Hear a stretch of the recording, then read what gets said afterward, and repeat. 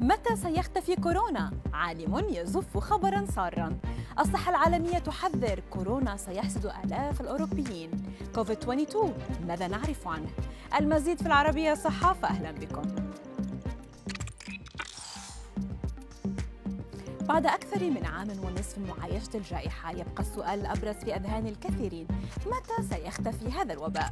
وفي خبر يبعث الأمل توقع عالم الأوبئة الألماني كلاوس شتور أن ينتهي فيروس كورونا في بلاده في أعقاب الشتاء المقبل كما أوضح أنه اعتبارا من الربيع سنشهد هدوءا ملحوظا للغاية وستنتهي الجائحة عندئذ وسيسود وضع طبيعي تماما في الصيف مرة أخرى معتبرا أن الأعداد المرتفعة لإصابات كورونا هي حتى الآن تطور متوقع ولا تدعو للانزعاج.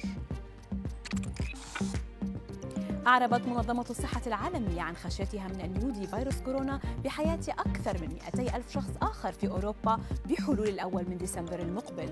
وأعلن مدير منظمة الصحة العالمية في أوروبا أن عدد الوفيات ارتفع بنسبة 11% في المنطقة الأسبوع الماضي. واعتبر زيادة معدلات العدوى بكوفيد 19 في أنحاء أوروبا على مدى الأسبوعين المنصرمين إضافة إلى انخفاض معدلات التطعيم في بعض الدول أمرا مقلقا للغاية. أثارت التقارير الجديدة المتعلقة بمتغير جديد ناشئ يمكن أن يظهر في عام 2022 قلقا عالميا.